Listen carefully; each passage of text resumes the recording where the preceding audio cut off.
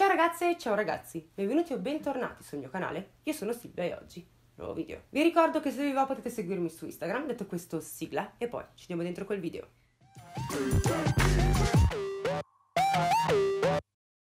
Oggi ragazzi e ragazze parliamo nuovamente di un caso che ha avuto inizio proprio su internet. Qualcuno mi ha consigliato di parlare di questo caso sotto i commenti del mio video su Cristina Long, un caso che ha come filo conduttore due elementi, internet e la musica. Però non parliamo di una musica qualsiasi, bensì di un genere musicale particolare chiamato horrorcore. L'horrorcore è un sottogenere della musica rap, hip hop e i testi di queste canzoni, come già avrete potuto intuire dal genere, trattano temi principalmente legati al macabro. Quindi in queste canzoni si parla di crimini, di violenze, di delitti, e di tante altre cose che non vi posso dire perché altrimenti YouTube si emoziona. In ogni caso non è proprio un genere musicale tranquillo e leggero, ma oggi non siamo qui per giudicare chi apprezza o meno un genere musicale, in quanto io stessa spazio dai System of a Down a Billie Eilish, adoro il punk, l'hard rock, ma allo stesso tempo adoro anche i Coldplay, i Mumford Song. Inoltre devo ammetterlo, mi piace il rap non la trap, quella non tanto. Mi piace il rap old school però. Ultimamente sto iniziando anche ad apprezzare l'indie, quindi ragazzi io alzo le mani. Ognuno ha le sue preferenze musicali ed è giusto così. Però arriviamo al sodo. Siamo a Farmville, in Virginia, che è una città rurale davvero molto piccola. A Farmville di fatto non è che ci sia tutta questa movida. Ci sono a malapena un bowling, un piccolo cinema e qualche bar. La conseguenza di abitare in un posto così è uno. Tutti si conoscono, tutti sanno tutto di tutti. A Farmville tutti sanno da che famiglia provieni, quindi chi sei, cosa fai e come ti comporti. Siamo nel 2008 ed è proprio qui che vive una delle protagoniste di questa storia. Si chiama Emma Naderbrook. La ragazza ha 16 anni. È alla ricerca di un fidanzato e ovviamente è una studentessa. Debra, la madre di Emma, insegna criminologia all'università, mentre suo padre Mark è un pastore. Emma è figlia unica, i suoi genitori sono ormai separati da due anni ed Emma ne soffre molto. Arrivata a 16 anni, Emma inizia a vivere un periodo che potremmo definire difficoltoso. Inizia ad essere ribelle, non va molto bene a scuola. Così i genitori decidono di far studiare la figlia a casa. E questa svolta nella vita di Emma l'ha nuovamente fatta cambiare. Inizia a essere ancora più ribelle, si tinge i capelli con colori sgargianti e passa da un abbigliamento casual ad uno stile sicuramente più dark e punk. Inizia a truccarsi in un modo molto più vistoso e si appassiona a un genere musicale, ossia l'horrorcore. Emma conosce questo genere musicale in un forum creato apposta per legare alcune band musicali ai loro fan ed è in questo modo che Emma fa amicizia con un gruppo musicale specifico. Emma inizia a stimare e a seguire con molto piacere due artisti che fanno parte di una casa discografica proprio horrorcore,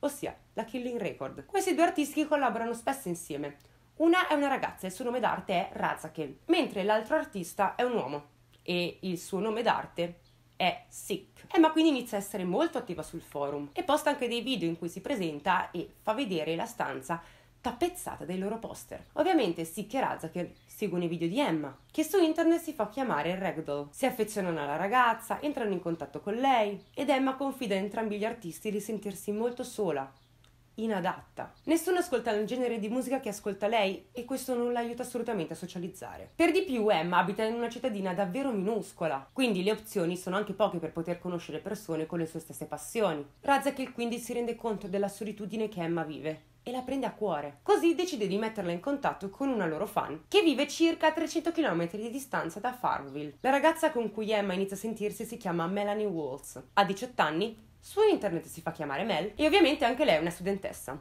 abita nella Virginia occidentale. Razakel quindi scrive a Melanie chiedendo se vuole sentire Emma, una loro fan, e Melanie accetta immediatamente. Quindi le due ragazze si conoscono e di fatto vanno d'accordo. Emma era convinta che nessuno ascoltasse Sick e Razakel nel giro di 700 km, ma invece scopre che c'è una loro fan che vive nello stato confinante al suo. Emma e Melanie stringono amicizia online. Iniziano immediatamente a sentirsi sempre più spesso tramite messaggi, legano molto e in breve tempo iniziano a sentirsi tutti i giorni. È vero, le due ragazze vivono lontane, ma cercano di colmare questa distanza distanza attraverso le videochiamate. Infatti stanno molto tempo al computer e parlano davvero un sacco. Dopo quattro mesi di amicizia online, Emma e Melanie finalmente si incontrano. Si mettono d'accordo per andare ad un concerto a Chicago e la loro amicizia diventa sempre più forte. Le due ragazze si trovano davvero davvero bene assieme. Inoltre sono davvero molto simili e non solo per i gusti musicali. Razakel e Sik nel frattempo condividono il video che Emma aveva postato sul loro forum, in un gruppo in cui erano presenti solo ed esclusivamente loro fan. Grazie a questa cosa, ben presto Emma diventa realmente famosa, quantomeno in quel contesto si intende. Tutti iniziano a sapere chi sia, la trovano carina e quindi iniziano a contattarla. Emma quindi sente molte persone ed è felicissima, perché finalmente non ha trovato solo un'amica che la capisce e l'ascolta, ma è riuscita letteralmente ad entrare in una comunità di persone che condividono i suoi stessi gusti in fatto di stile, moda e musica. Quel video viene visto davvero da centinaia e centinaia di fan. E tra quei fan, purtroppo, non sono tutti buoni e gentili. Razakel ovviamente non poteva saperlo, anche perché è difficile capire online se qualcuno abbia brutte intenzioni, specialmente se bravo a fingere. E fingere online è molto più facile rispetto a fingere nella realtà. Infatti, ben presto Emma viene contattata da un certo Sam, anche lui fan dell'horrorcore. Sam inizia immediatamente a riempire di complimenti Emma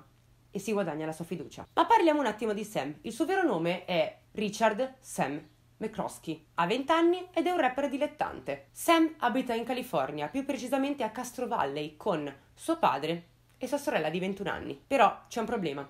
Sam è uno di quei ragazzi che non ha vita sociale al di fuori di internet. Non esce praticamente mai e sta perennemente nella sua camera attaccato al PC. Emma effettivamente prova immediatamente simpatia per Sam. Il ragazzo appare ad Emma come un tipo carino, simpatico, solare e quindi i due dopo poco tempo si fidanzano online. Non si sono mai visti prima, eh? Però i ragazzi già iniziano a scambiarsi messaggi d'amore. Niente di bricconcello, per carità, ma nel giro di un mese si chiamano tesoro, amore e dicono di amarsi. La cosa direi che è stata un po' troppo prematura. Ma online non si ha troppo la nozione del tempo. Non equivale a frequentare una persona dal vivo, vederla e parlarci faccia a faccia. E purtroppo si fa presto ad arrivare ad una conclusione errata e a vedere la persona che sta dall'altro lato dello schermo come perfetta. Certo, tramite messaggi è fin troppo semplice nascondersi, recitare una parte. Sam forse lo fa senza neanche rendersene conto, ma di fatto non riusciva a socializzare con nessuno di persona. Riusciva solo a sentire persone tramite internet. Poco tempo dopo su internet Razak e le Sikh annunciano che ci sarebbe stato un festival horrorcore a Detroit, nel Michigan. Non è sicuramente vicino, infatti da Farmville a Detroit ci sono circa 1038 km che corrispondono a 10 ore di macchina. Ma Melanie ed Emma cercano di convincere i loro genitori per poter andare a questo festival e potersi rincontrare. Kathleen, ossia la madre di Melanie, dice immediatamente alla figlia che può andare, mentre Emma sì vorrebbe andarci, ma non solo con Melanie, anche con Sam, il ragazzo di cui si è tanto innamorata online. Quindi Emma ne parla con suo padre, Mark, che ovviamente va a parlare della situazione anche con sua madre, Debra, e alla fine entrambi decidono di mandare la figlia a Detroit, specialmente perché è da parecchio che non vedono Emma così felice e loro volevano davvero solamente rivedere la loro bambina contenta. C'è però una condizione, i genitori di Emma, Deborah e Mark, le dicono che li avrebbero accompagnati loro in macchina a Detroit. Emma è al settimo cielo, la condizione dei suoi genitori le sta più che bene e quindi va immediatamente ad avvisare Melanie e Sam. A questo punto Melanie raggiunge Emma dalla Virginia occidentale e i genitori di Emma si preparano per andare a recuperare Sam all'aeroporto di Richmond.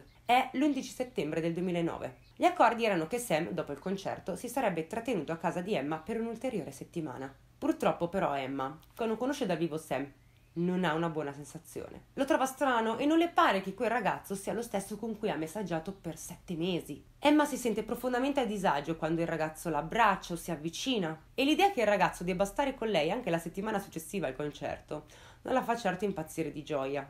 In ogni caso, i tre ragazzi con i genitori di Emma iniziano il viaggio verso Detroit. E Sam durante il viaggio prova a stringere la mano di Emma con disinvoltura, ma Emma è davvero in difficoltà, si sente a disagio e quindi sfila la mano dalla sua più volte. Questo perché Emma non vuole avere assolutamente un contatto diretto con Sam. A tarda sera il gruppo arriva a Detroit e Razak e le Sikh stanno nello stesso albergo dei loro fan. E così Emma, Melanie, Sam e i genitori di Emma se ne vanno a dormire in attesa del giorno dopo. Emma, Melanie e Sam avrebbero potuto conoscere i loro artisti preferiti. L'ambiente era davvero informale, tranquillo. Razak e le Sikh sono tranquillissimi, parlano con i loro fan, fanno foto con loro. E appena Emma e Melanie li vedono, corrono immediatamente ad abbracciarli. Passano quindi qualche tempo assieme, fanno quattro chiacchiere e ovviamente insieme a Melanie e Emma c'è anche Sam. In quel contesto in effetti riescono a fare quattro chiacchiere in gruppo ed è in questo caso che Emma capisce definitivamente che quel Sam non era lo stesso ragazzo che aveva conosciuto online. È a disagio e si vede, cerca di non stargli troppo vicino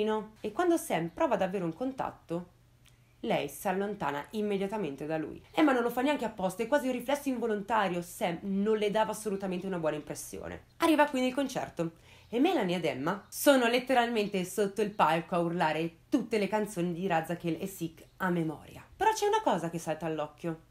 Sam non è con loro. È in disparte, in fondo al locale. Sam si sente letteralmente messo in disparte, anche perché era convinto che per quel concerto si sarebbe visto solo con Emma, non anche con Melanie. Sam è arrabbiato già per questo fatto, però a un certo punto viene anche messo davanti ad un'evidenza. Non riesce davvero a legare con nessuno. Sam si sente letteralmente rifiutato da tutti, anche da Emma, che pensava essere la ragazza giusta per lui. Passa il tempo e il concerto quindi si conclude e Melanie ed Emma devono affrontare altrettante 10 ore di viaggio con Sam per tornare a Farmville.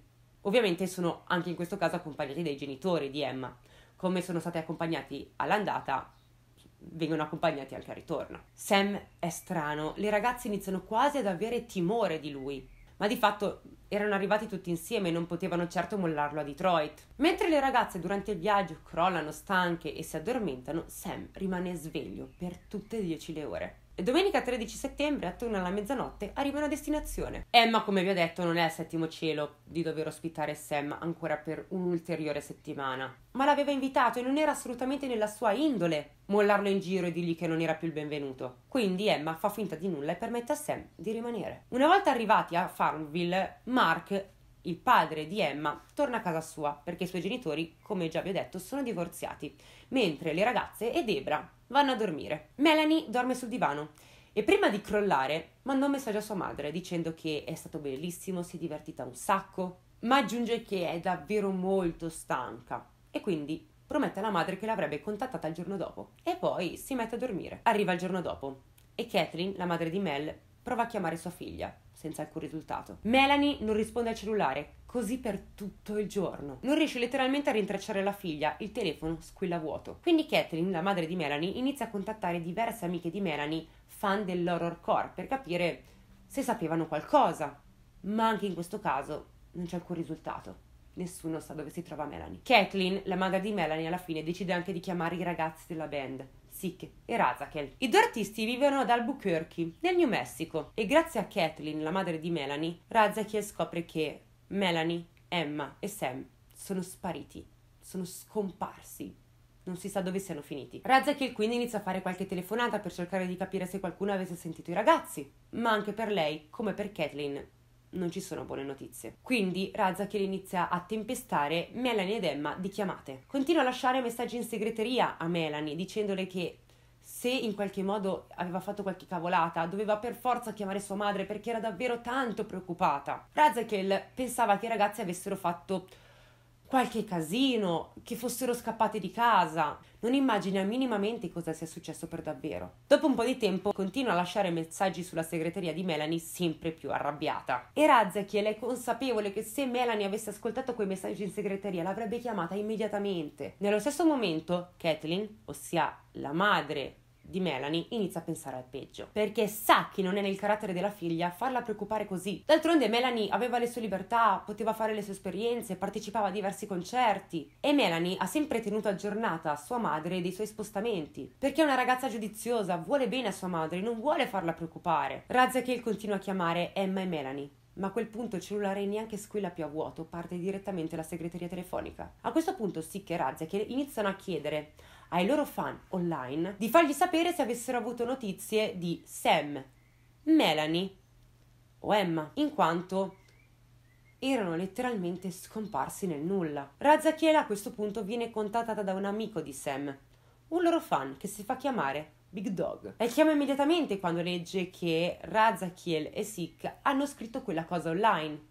Ma purtroppo non sa niente, però promette a Razakiel che si sarebbe informata in quanto Sam era un suo amico. A questo punto non restava che attendere. Contemporaneamente la madre di Melanie, Kathleen, a questo punto è davvero preoccupata, ma tanto preoccupata. Inizia quindi a contattare la polizia locale, ma sua figlia è già maggiorenne, quindi è consapevole che non avrebbe avuto un pieno aiuto dalle forze dell'ordine, almeno non in modo tempestivo, insomma. Quindi Kathleen, in un tentativo disperato, chiama la polizia di Farmville e gli comunica che iniziava a temere che ci fosse stato un incidente. Quindi chiede se è possibile fare un controllo negli ospedali locali, ma anche in questo caso la chiamata va a vuoto, in quanto a Farmville nessuno ha ricevuto notizia di un incidente stradale. Melanie e i suoi amici pare siano svaniti nel nulla e Kathleen non sa più cosa diavolo fare. Quindi chiede letteralmente a suo marito Jerry di andare a Farmville per capire cosa sia successo. Jerry si fa ben 5 ore di macchina e arriva fuori da casa di Emma. Di conseguenza inizia a suonare la porta, senza però ottenere alcuna risposta. Poco dopo appare un ragazzo che sostiene di essere un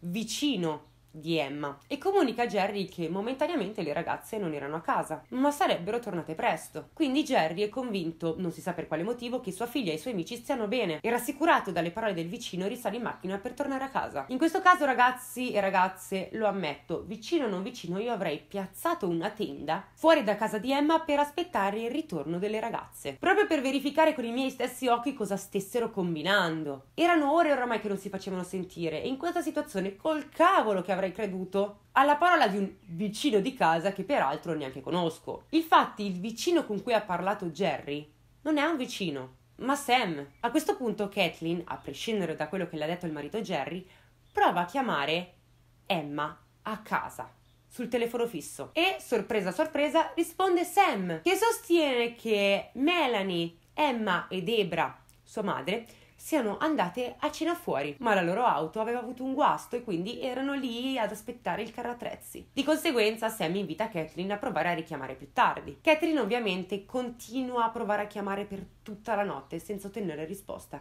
fino a quando non arriva la mattina dopo, quando Sam risponde al telefono cambiando però la versione.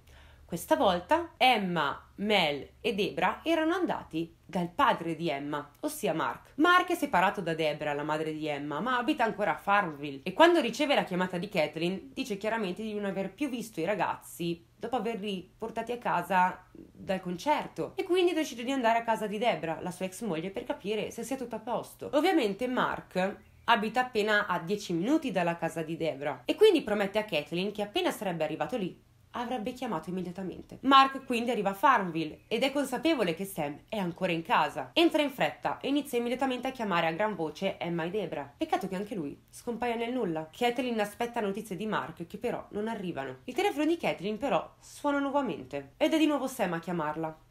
Le dice di non aver assolutamente visto Mark andare lì e aggiunge anche un'altra cosa, un po' strana secondo me.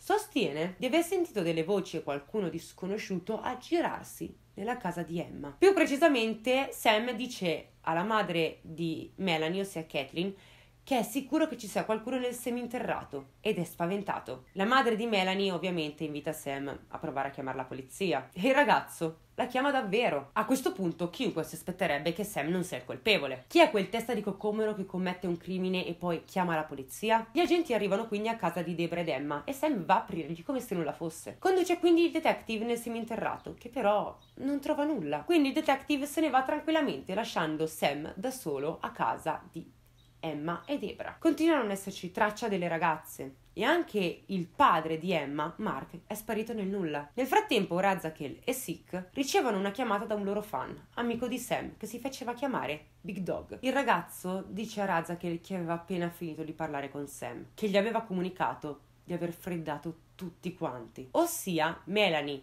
Emma, Debra e Mark. Razakel ovviamente reagisce malissimo, scoppia in un pianto disperato e non ha idea di cosa fare o di cosa pensare. A questo punto, a distanza davvero di pochissimi minuti, Kathleen chiama Sick e il ragazzo non può far altro che dire la verità. Il ragazzo deve dire a Kathleen, la madre di Melanie, che la figlia non c'è più. Sick sostiene che la donna, dopo aver appreso la notizia, ha fatto un urlo al telefono che non avrebbe mai più dimenticato per il resto della sua vita. La disperazione di una madre che perde la figlia ad ascoltare è devastante. Razek e le Sikh stanno davvero male, ma si fanno forza e contattano la polizia di Farmville, che purtroppo, una volta entrati in casa di Emma e Debra, trovano i quattro corpi senza vita delle vittime. Però nasce una domanda. Come mai il detective che aveva chiamato Sam non aveva assolutamente trovato quei corpi? Probabilmente Sam li aveva nascosti. Ma quindi perché poi rimetterli in bella vista nel salotto? Insomma, i poliziotti trovano i corpi in men che non si dica. Però c'è un problema, Sam non c'è. Quindi hanno una priorità, trovare quel ragazzo. Fortunatamente una guardia di sicurezza dell'aeroporto di Richmond riconosce Sam e lo trattiene fino all'arrivo della polizia. Sam quindi viene arrestato dalla polizia con l'accusa di aver freddato Melanie, Emma e i genitori di Emma. Per evitare la condanna a morte accetta l'offerta del pubblico ministero. Sam sostiene che dopo essere tornati dal concerto la notte del 13 settembre, sentendosi totalmente rifiutato da Emma, aveva ben pensato di mischiare sostanziere particolari, alcol e farmaci. Cocktail perfetto. Dopodiché aveva trovato fuori da casa di Emma un'ascia e aveva deciso di usarle con tutte le persone all'interno di quella casa. La prima che fredda è Melanie, che dorme nel salotto sul divano, poi va al piano di sopra e fredda anche Emma e sua madre. Tre giorni dopo, quando Mark va a casa di Debra ed Emma per vedere se è tutto ok, Sam Fred anche lui. In questo modo si conclude la storia di Sam McCloskey, che viene condannato all'ergastolo. Onestamente, ragazzi, devo davvero ringraziarvi per avermi messo la pulce nell'orecchio per questo caso, perché davvero l'ho trovato molto molto interessante. Specialmente perché parte tutto dalla musica, che sia horror, che sia un altro tipo di musica. È davvero davvero brutto pensare che un concerto possa creare una situazione del genere. Ovviamente Sam era molto bravo a non far capire quali fossero i suoi problemi. Anche se onestamente guardando su internet la faccetta da uno che non è che ci stesse tanto bene con la testa, secondo me ce l'aveva e come. Detto questo ragazzi, la morale è sempre questa. Fate balalöc, come diceva mio zio, ossia state attenti, non vi fidate ciecamente di tutte le persone che conoscete online, perché davvero possono rivelarsi esattamente l'opposto di quello che voi crediate siano. Spero vivamente che questo video possa essere stato di vostro gradimento. Noi ci vediamo prestissimo al prossimo video. Vi mando un bacione. Mi raccomando, fate i bravi, mangiate sempre le verdure, ma soprattutto ricordate che l'occhio critico vi osserva.